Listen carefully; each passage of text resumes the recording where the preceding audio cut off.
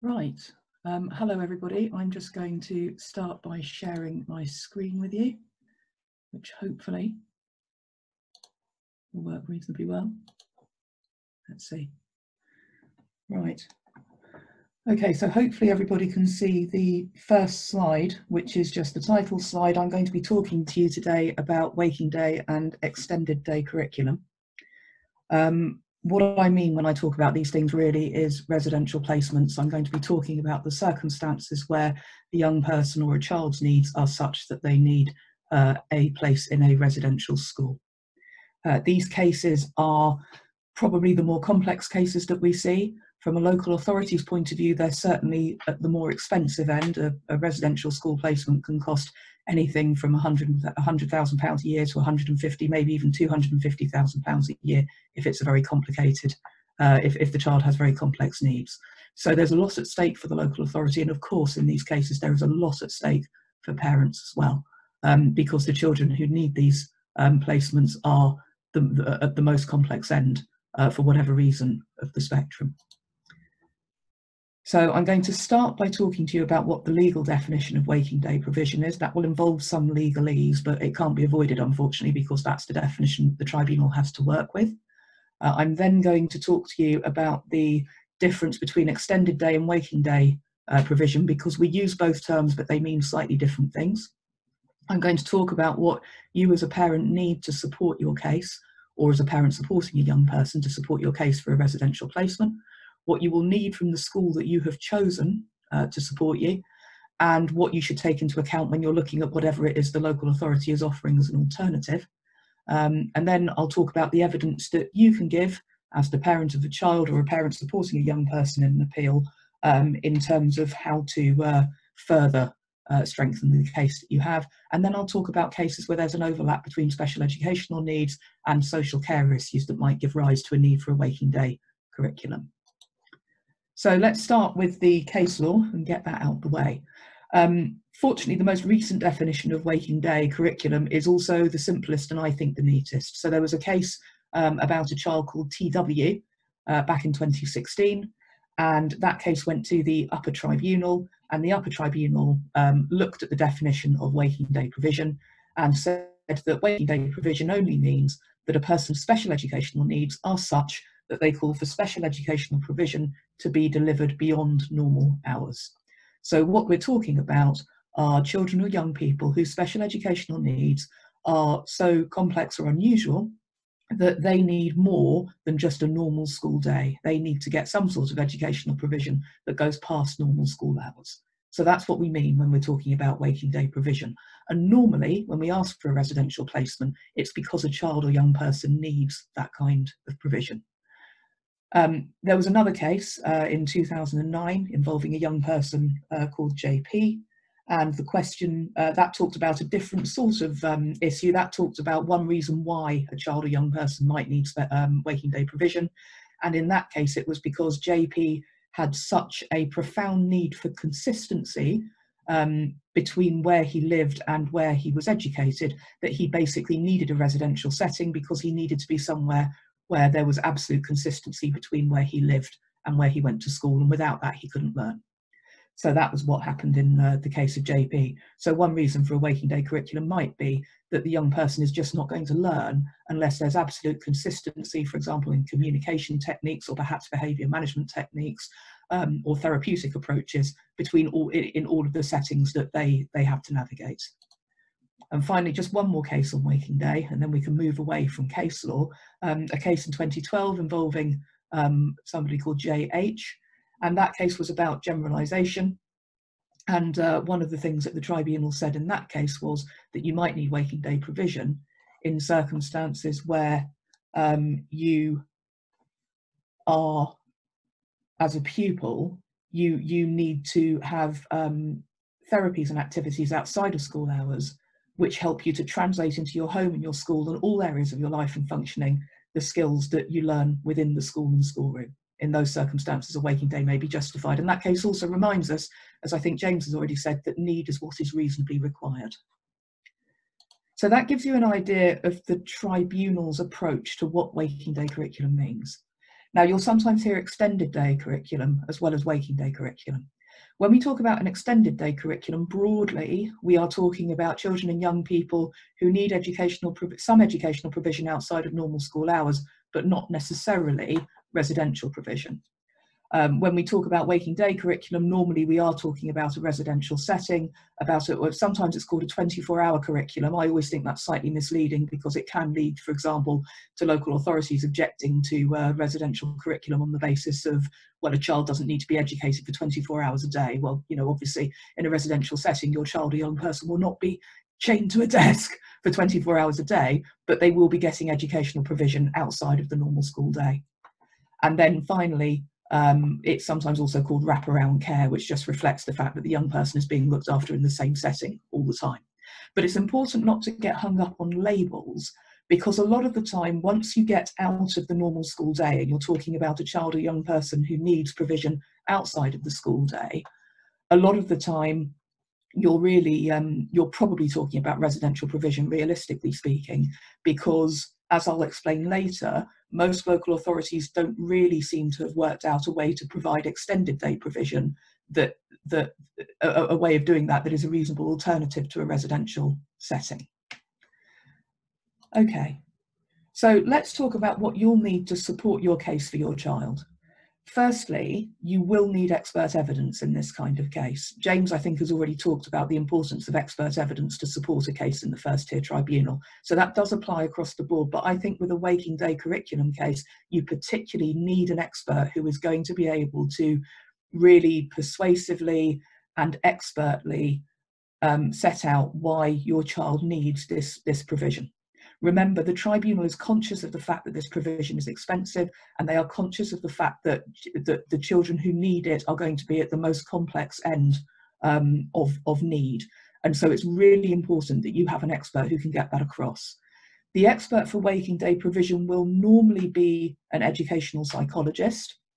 In some cases where you're talking about very complex physical needs, you might be talking about um, a physiotherapist perhaps or an occupational therapist.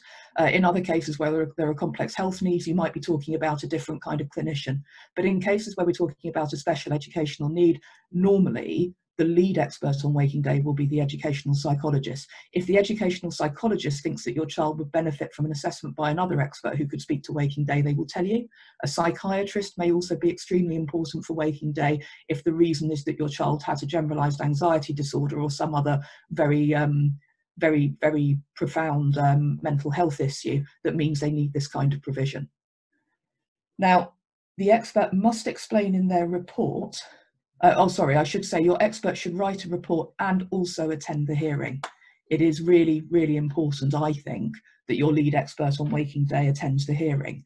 It, it can be a difficult call because we're aware that experts do cost money um, and that it can be expensive to have them attend. And if the local authority doesn't seem to be calling very much evidence, it can be tempting to say, well, I don't know if I'll call my educational psychologist or my speech and language therapist or whoever, because the local authority hasn't called any evidence about that. But the difficulty is, I think, that the tribunal um, is very proactive. It, it's it's it's what we call an inquisitorial tribunal, which means that it it doesn't just sit and look at the evidence and pick between um, the parties' cases, it's proactive and it makes its own decisions about the evidence. So the fact that your expert is the only person who's written a report doesn't necessarily mean that the tribunal will accept that that witness's report if they don't if it doesn't make sense to them. So I think it's important that your lead expert on Waking Day attends so that they can answer any questions that arise out of the report that they've written. And I think all of us on the panel have had cases where it's become clear during the hearing that the tribunal misunderstood something in an expert report. Unfortunately, we had that expert there to explain to the tribunal why they'd misunderstood. Now, the expert must explain in their report and their oral evidence why waking day is necessary by reference to the child or young person's needs. That's really, really important. We still see occasionally um, some expert reports. I mean, I will say not not not not generally speaking the experts that we're we're familiar with i think or the experts that SEN Legal use but we all see from time to time expert expert reports where the expert effectively says i am an expert educational psychologist and in accordance with my expertise i think this child needs a waking day placement. They, they've got to explain it more specifically than that because the tribunal is going to want to know what in your child or young person's needs gives rise to that need. And I've put a few examples here. I mean, I will say I'm not an educational psychologist myself or a, a clinical expert. So the, the, these, these are explanations that I have heard um, and needs that, that I have heard in hearings as justifying the need for a waking day curriculum. Um, a, a, difficulty with generalisation so that the child or young person needs to be um, needs absolute consistency between settings, uh, opportunities for overlearning, um, children who are very anxious, um, they struggle with transitions, uh, they need they need very careful management in terms of their behaviour. So these are all reasons why a young person or child might need a waking day uh, curriculum, but there will also be other um, cases where they're required um, for, for other reasons. It will always depend on the needs of the child. Don't forget to ask your expert how long your child should be at school for. So it could be for the normal, the normal school year of 38 weeks, it could be 44 weeks. In cases where a child's needs are particularly complex, it could be 52 weeks. Um, and also, what sort of boarding frequency are we talking about? Are we talking weekly, termly? are we saying let's let's have the child in there for 52 weeks and use our, our, our judgment and our you know liaise with each other to decide when the child can come home if the child is able to come home or whether the parents should go and see the child so that's another important question. And again the expert needs to explain why what they have said is necessary is necessary. And also you will need to make sure that other relevant information about your child's medical history and other assessments that they have is included in the tribunal bundle. I mean, obviously, if you, it, it, it, slightly depends because if you are supporting a, if your child is a young person, perhaps they're in their 20s, you might think, well, I don't really want to put a load of assessments in from when they were six, and that's fair enough. But you do need to make sure, for example, that if your expert has referred to certain assessments, your expert might say, I've read this report from a speech and language therapist, I've read these reports from other educational psychologists. You would want to put those in your bundle to make sure that the tribunal can read them. Now, what will you need from the school that you've chosen? So you will have looked around and researched very carefully, and you will have identified a school that you think can meet your child's needs. And uh, since we're talking about waking day curriculum, that will be a residential school. So what will the tribunal expect? The tribunal will expect that a residential school will have seen your child, will have carried out observations, will have produced some sort of assessment report, and that they will have offered your child a place. So you will need also to have confirmation from the school that they are offering your child a place and that place is open for them. So not not every residential school does produce an assessment report, but most of them do. And because of that, the tribunal will always ask if there is an assessment report. And because of that, as I say on this slide, if the school hasn't produced a report, it's a good idea to ask them to provide a witness statement setting out why they believe they can meet your child's needs based on their assessment of your child. Ideally, your child would have spent a couple of nights there as well. And that helps because one of the things the tribunal is always concerned about is whether a, a child or young person with very complex needs who hasn't been away from home before will be able to cope with living away from home. So that's really, really important to the tribunal. Uh, make sure that you've got the latest Ofsted, CQC reports, I, ISI reports, and the prospectus in the bundle. So any inspection reports relating either to the residential aspect of the school that you've chosen or to the educational aspect, and their prospectus, their brochure, are in the bundle as well. Now, the school will need to be able to explain how its waking day provision works. I have done some cases where the local authority's challenge has been in part, well, parents are saying they want a waking day curriculum, but we don't think this school is providing a waking day uh, curriculum. So the school needs to be ready to answer those questions. Somebody from the school should attend the hearing. Um, I'm aware that there is a small minority of schools who will say that they don't send people to the hearings. Um, that, that can cause a real problem if there's a dispute about whether your school can do what it says it can do. So, so I would say if you're choosing a school, find out early whether they will go to the tribunal or not and push them to attend. That's really important. Um, so what will schools need to explain? Well, one of the things that they commonly need to talk about is how the curriculum and learning targets um, that are worked on during school hours are carried over to after school hours. So what, what, how, how are these things going to be worked on in the evenings? Because the evenings really is the waking day, um, is, is where the waking day provision comes in. What programs will be administered after school? Is there going to be occupational therapy? Is there going to be any, any element of literacy or numeracy? and how do these differ from enrichment activities? I say that because it's easy, I think, for a, a, witness from a school who isn't necessarily experienced in the tribunal to make what they do after school sound like fun that you do with children after school because they're not in school. So, for example, a, a school could say, well, we take our children to the theatre, we take them bowling, uh, we take them to football, um, you know, we, we, we, we do drama activities. But what the school needs to explain is what targets they will be working on when they do these outings. So, for example, if they go to the theatre, are they going to be using that to um, increase safety awareness in the community? Uh, if they're going out shopping, are they going to use those opportunities to help children understand what money means, uh, to help them make choices in supermarkets? Uh, are they then going to go home and cook those meals together? Are they going to use numeracy? Um, are they going to use, say, sharing a pizza to instill some basic concepts about numeracy?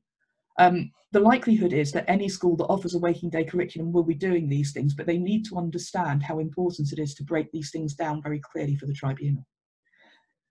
How will the care workers in the residential setting be um, supervised and by whom? So um, one of the things that local authorities sometimes say is, well, you're saying that it's um, a waking day curriculum and that there's educational provision in the residential setting. But we've heard that the people in the residential setting are care workers. They're not qualified teachers, they're not teaching assistants, they're care workers. So how is that different from the respite or care provision that the local authority might be able to provide at home? And again, it comes down to what are those care workers doing? Are those care workers involved in delivering educational programs? So these are all things that the school needs to break down very, very specifically for the tribunal and for the local authority to make it absolutely clear that what is happening after school is waking day curriculum. The other question that might arise is what therapy provision is available in the residential setting outside normal school and college hours. That is really important because a lot of the time, the reason that a waking day curriculum will be sought will be, at least in part, because the child has very complex needs and requires very flexible therapy that can be delivered across the whole of their day as opposed to just at school. And so what you don't want is a situation where you get into tribunal and then find out that actually your residential setting only has um, the therapist that your child needs on, on site for one day a week, or they're around but they never go into the residential setting or something like that. So it's really important to understand exactly what therapy provision is available and um, how that will meet your child's needs. And the last question is how close is the residential provision of the setting to the educational setting? Um, and the reason I mention that is because not all residential settings will necessarily accommodate um, the children and young people who they teach on site. And I do remember one case where uh, it became clear that in fact the, it, was, it was a case where the young person was um, seeking a waking day curriculum because they struggled with transitions. And then it became clear during the hearing that the school was considering accommodating them on a site that was 30 minutes away from the educational setting. And so obviously that that needed to be ironed out because potentially the waking day curriculum wasn't going to solve that young person's most important need. So it's really important to fully understand what the school's waking day provision actually is, how it will actually work in practice and how it will meet your child's needs. And the more that you know about that, the better prepared you will be um, to run the case. The other thing to do is look very carefully at what the local authority is suggesting instead key point, even if the tribunal doesn't think your child has a special educational need for waking day provision, they may still name your residential school if the local authority's proposed alternative can't meet need. So it's really important. I mean, the waking day, evidencing waking day, a need for a waking day curriculum is really important, but it's not, it's not the only thing that you need to think about. Um, so do look, uh, James has talked about um, Section I and about naming schools in Section I do look really carefully at the local authority's proposed alternative setting. Don't just assume that it all comes down to, waking, to a need for waking day provision. Um, so I would say do visit the local authority's proposed setting. I know that some parents can be reluctant to do that because it feels like um, engaging with something that just isn't going to be appropriate. But if you visit anyway, and if you have your lead expert visit anyway, you're going to be in a really good position to spot the things that won't suit your child. I mean, I suppose there could be an amazing best case alternative, which is that you go and you discover that the local authority's alternative is amazing and it may suit your child's needs. But assuming that that's not going to be the case because your child needs the waking day curriculum, um, even so, if you go, you may discover all sorts of things that other people just wouldn't think of. I can remember doing one case where the young person and her parents went to visit the local authority's proposed alternative, and it turned out that because of her complex physical needs, she wouldn't even be able to get into the building independently at the age of 19. That's a really significant thing that everybody else, including the experts, had just missed because they didn't understand her physical needs like she did and like her mum did. So that's the kind of thing that you can pick up on if you go and visit what's being on offer. Also get your lead expert to go and visit at least get your lead expert to speak to staff there to understand what the educational provision is. What should you be looking at? Well, firstly, suitability to meet your child's special educational needs. Um, what are the staffing arrangements? How are they going to meet your child's complex needs? What about the facilities available? If your child needs very complex physiotherapy for very profound physical needs, do they have a space where they can do that? If they have a space with a bed, is that going to work? If your child needs a wheelchair, that needs a particular turning circle or a particular space? Is there room for your child, the wheelchair, and the people who need to help her with it? What about quiet spaces? If your child has very challenging behaviour, do they have a quiet space that they can take him to if he if if if he needs to if he needs to calm down and self-regulate? What about the peer group? What's the peer group like? What sort of age, what sort of class will your child be in? What sort of abilities will they have? Will they all be verbal? Will they be non-verbal? Uh, what sort of behaviour do they exhibit? Um, do if, if you're you, you know uh, uh, is it is this um, is your child going to be towards the top end of the class? Is your child going to be an outlier at the bottom of the class? All of these questions are really important. What about courses and qualifications? Does your child have any particular aspirations? Is the school going to be able to help him achieve those aspirations? And what sort of outreach because normally in these cases the local authority is proposing a day a day setting. Is there any outreach that the school can offer if your child needs help during the evenings, can the school assist? And the last point um, that I wanted to deal with in relation to this is sometimes for young people, the local authority will say, well, this young person doesn't need a, a, waking day setting because we can replicate that, because we can put them into an appropriate supported living or other um, facility. Sorry, excuse me just for a moment. Can put them into a supported living or other, other appropriate residential facility that we have with young people who are of a suitable peer group. Um, and we can send them to a mainstream college or possibly to a, a specialist college. We can send them with help from supported living. Um, the people, the care workers at the home can provide any therapeutic programs that are required or any educational programs, they can be trained to do that. Well, some local authorities do try to put this kind of package together. And it's just really important to look at how they're proposing to coordinate it. Because in a residential setting, um, both the residential areas and the educational areas are all overseen by the same people and the same team working towards the same educational targets. That won't necessarily be the case in a situation where you're trying to coordinate a mainstream college and a residential setting and then care workers who might work in that residential setting who might be employed by somebody completely different. So it's it's really important to just scrutinise exactly what the local authority is proposing because if what the local authority is proposing won't work, you can say to the tribunal, well, you should name my school anyway, even if you don't think my child needs a waking day curriculum, you should, you should name my school anyway because what the local authority is proposing is just unworkable. What about your evidence? As a parent, you are the expert on your child. And in a tribunal hearing, the tribunal must give you an opportunity to speak about your child and say what you want to say about the appeal, whether you are represented or not. So what should you talk about? Well, firstly, this is a really golden opportunity, I think, that parents should take full advantage of when they can. It, I think one of the complicating factors that can arise in these cases is that most parents who end up in an appeal have had an incredibly, incredibly difficult journey to get there. They have had, in some cases, years of trying to get their child the care that they need. In some cases, they would have been through two or three appeals already. They might not have been able to get an EHC needs assessment. They might then not have been able to get a plan. They might then have, have had to wrangle about what the plan should look like. Um, and by the time they get to the appeal and the opportunity to talk to the tribunal, one of the things that you want to talk about, understandably, is how difficult the process has been and how, how unfair it has been on you and how much difficulty it has caused for you and your child in terms of progressing and coping. And that's really understandable. It's important to understand, though, that the tribunal is forward looking. That's what the tribunal always says. The tribunal, the tribunal will say, Where are we now? where do we want to get to? And so it's important, I think, not to use your opportunity in tribunal to vent about things that happened in the past, but which aren't really going to change what the tribunal does next. So whilst difficulties that you've had in the past are relevant, so for example, the local authority is proposing a placement that is exactly the same as the placement that your child has had previously and it's not going to work, that's the kind of thing you want to explain to the tribunal. This is why that didn't work. Nothing has changed. It's not going to work again. But if we're talking about things like um, the local authority not responding to emails or not coming to annual reviews, that's all incredibly frustrating.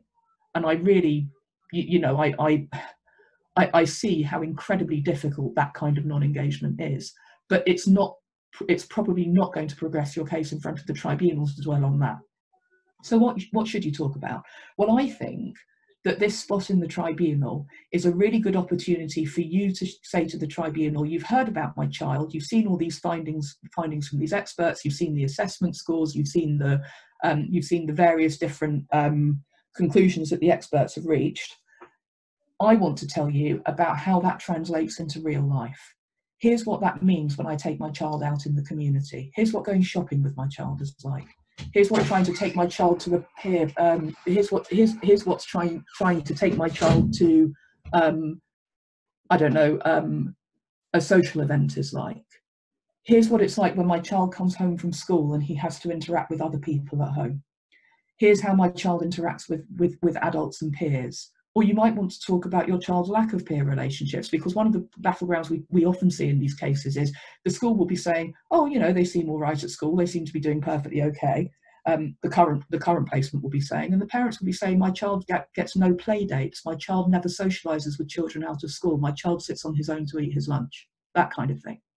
So I think rather than rather than going into past past um, difficulties with the local authority that won't progress the case, or re or, or, sort of reiterating what experts have already said, because that's another thing I think that it's very easy to do to just sort of say, well, this is what the experts are saying.